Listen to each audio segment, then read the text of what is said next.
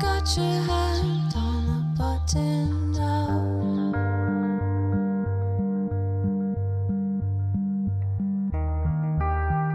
Showing off.